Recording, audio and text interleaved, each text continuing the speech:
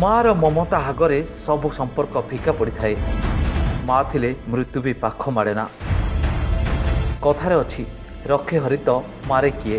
କିନ୍ତୁ ଏମିତି ଏକ ଘଟଣା ଘଟିଛି ଯାହାକୁ ଶୁଣିଲେ ଆପଣ କହିବେ ରକ୍ଷେ ମା ତ ମାରେ କିଏ?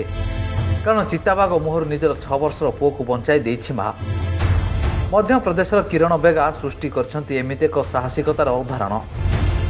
ମଧ୍ୟପ୍ରଦେଶର ସିଦ୍ଧ ଅଞ୍ଚଳ କିରଣ ବେଗା ପ୍ରାୟ ସନ୍ଧ୍ୟା ସାତଟା ବେଳେ ନିଜର ଛଅ ବର୍ଷର ପୁଅକୁ ଧରି ଘର ବାହାରେ ବସିଥିବା ବେଳେ ହଠାତ୍ ଏକ ଚିତାବାଘ ଆସି ଦୁହିଁଙ୍କୁ ମା ପୁଅକୁ ଆକ୍ରମଣ କରିଥିଲା। ପରେ ଚିତାବାଘଟି ଛଅ ବର୍ଷର ପୁଅକୁ ପାଟିରେ ଧରି ଜଙ୍ଗଲ ଆଡ଼କୁ ଧାଇଁବାରେ ଲାଗିଥିଲା। ତେବେ ମା ନିଜର ଛୁଆକୁ ବଞ୍ଚାଇବାକୁ ଯାଇ ଚିତାବାଘ ପଛରେ ପ୍ରାୟ ଏକ କିଲୋମିଟର ଯାଇ ଶେଷରେ ନିଜ ପୁଅକୁ ମୃତ୍ୟୁ ମୁଖରୁ ବଞ୍ଚାଇଛି। ଠିକ୍ ସମୟରେ ଆଖପାଖରେ ଥିବା ଲୋକ କିରଣଙ୍କ ଚିତ୍କାର ଶୁଣି ଧାଇଁ ଆସି ଚିତାବାଘକୁ ଘଉଡ଼ାଇବାରେ ସଫଳ ହୋଇଥିଲେ। ଯାହାଫଳରେ ଚିତାବାଘ ମୁହଁରୁ ମା ପୁଅଙ୍କୁ ଜୀବନ ବଞ୍ଚିଯାଇଛି ଅନ୍ୟପଟେ କିରଣ ବେଗାଙ୍କ ପାଇଁ ଏପରି ସାହସିକତା ପାଇଁ ଚାରିଆଡ଼ୁ ପ୍ରଶଂସାର ସୁଅ ମିଳୁଥିବା ବେଳେ ସମାଜରେ ମାଙ୍କ ପ୍ରେମର ଆଉ ଏକ ଉଦାହରଣ ସୃଷ୍ଟି କରିଛନ୍ତି କିରଣ। Report Odisha reporter.